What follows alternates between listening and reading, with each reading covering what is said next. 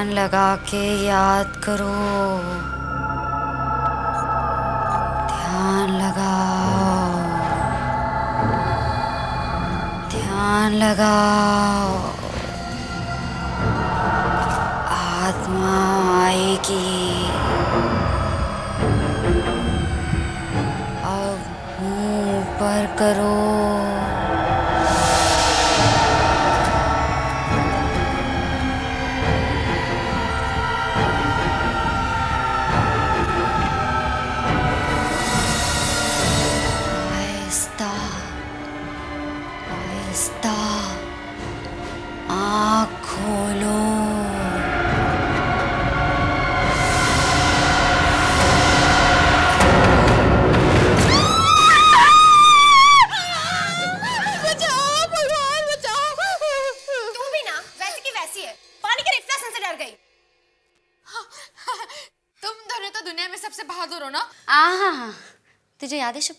College में जब एक सीनियर ने हमें डराने के लिए वो केमिस्ट्री लैब वाली कहानी सुनाई थी?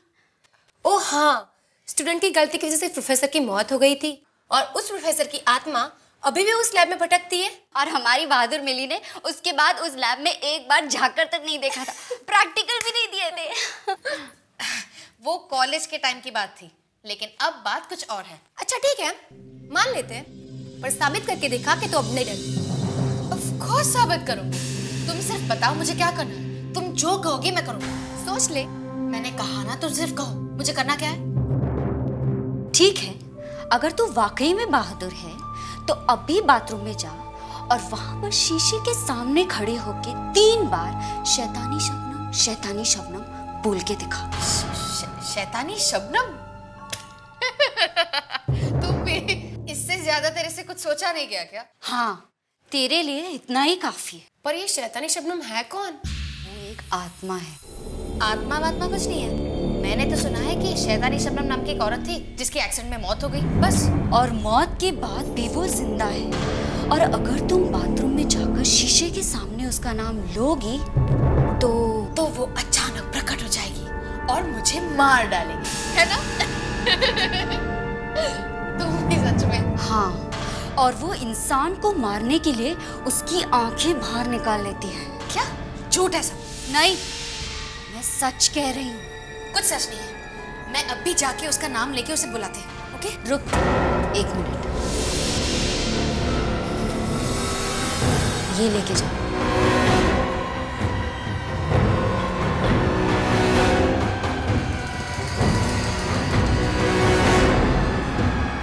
जाऊँ ना?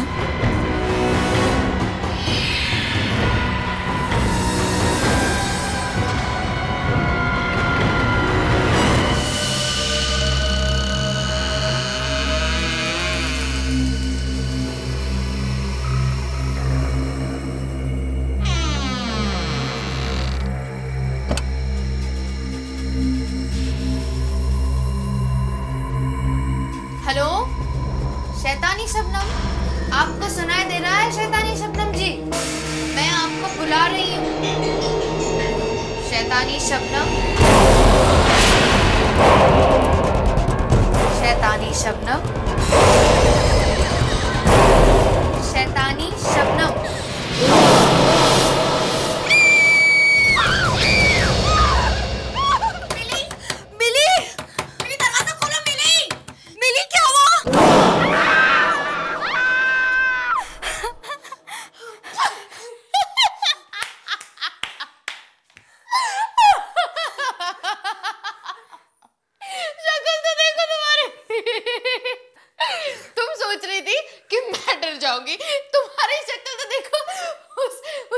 में जाके अपनी डरी हुई शक्ल देखो। हवाइयाँ उतर गई है चेहरे की। मिली मज़ाक की भी एक हद होती है। अच्छा और वो मज़ाक जो तुम लोगों ने मेरे साथ किया शैतानी शबनम का नाम लेके उसका क्या? मेरी तो जान ही निकल गई थी। हमें लगा कुछ हो गया तुम्हें। मुझे तो तब कुछ होता ना जब शैतानी शबनम नाम की कोई चिड़िया इस दुनिया में होगी।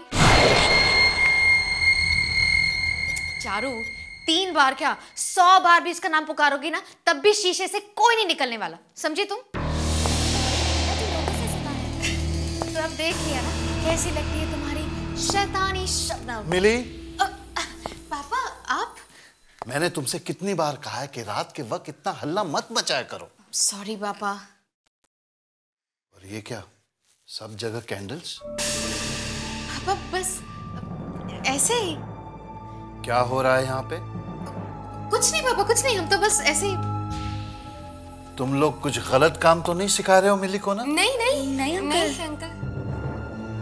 कोई आत्मा वात्मा तो नहीं बुला रहे हो ना? नहीं बस हम तो मज़ाक कर रहे थे। हाँ बस मज़ाक। आत्माओं से मज़ाक मत करो।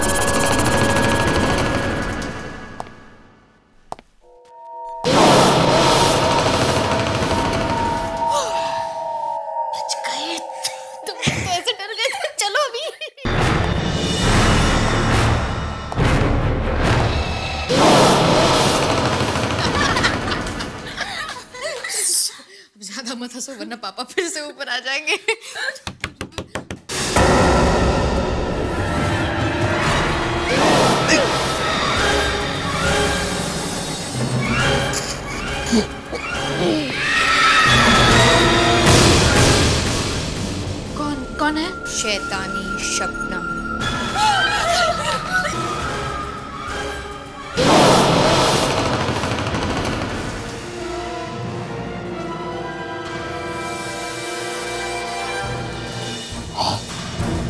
ये खून कहाँ से गिरा? क्या क्या क्या चाहिए? तुम्हारी आँखें। खून कहाँ से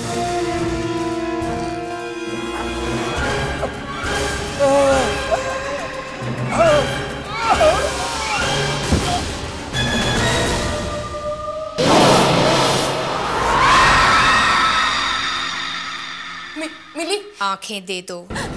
मिली? मिली? मिली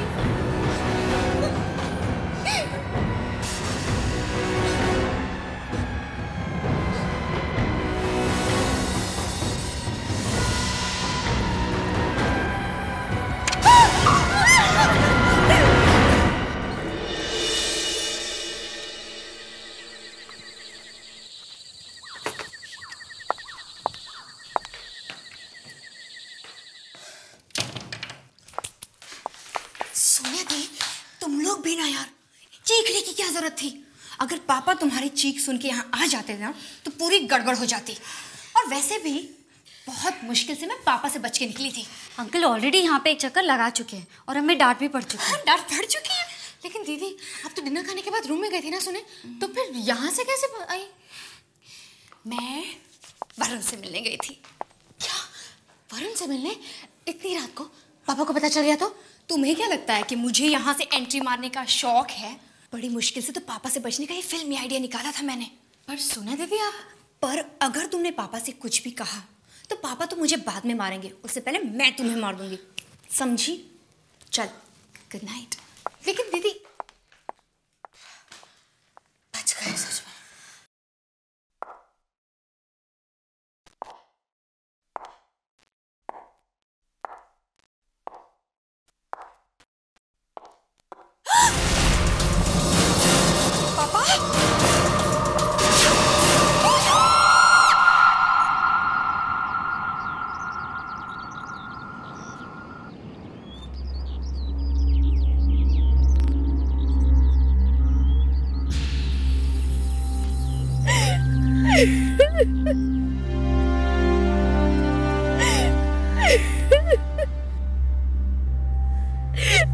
मिली इस तरह रोने से अब कुछ नहीं होगा। पापा तो अब आ नहीं सकते। तुम प्लीज़ चुप हो जाओ।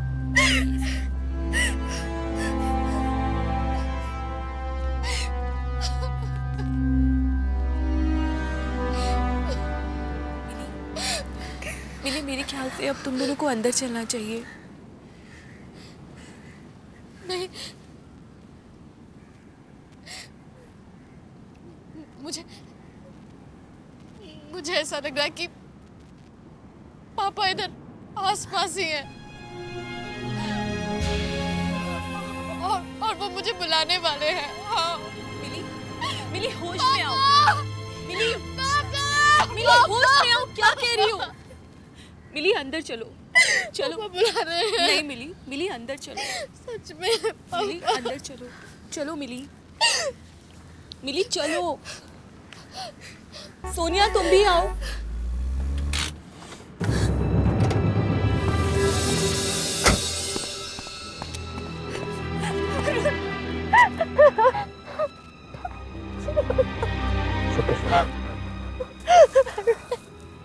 I'm sorry, सोनिया आने में थोड़ी देर होगी लेकिन लेकिन ये सब हुआ कैसे? अंकल ऐसे अचानक कुछ समझ में नहीं आ रहा वरुण कैसे हुआ।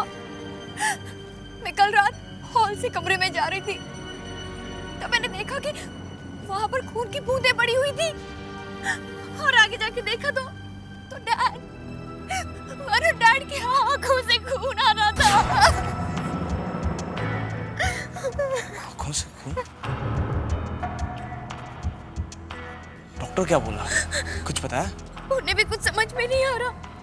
वो वो कुछ अजीब सी बीमारी का नाम बता रहे हैं। पर वरुण डैड की आँखों से खून कैसे आ सकता है वरुण?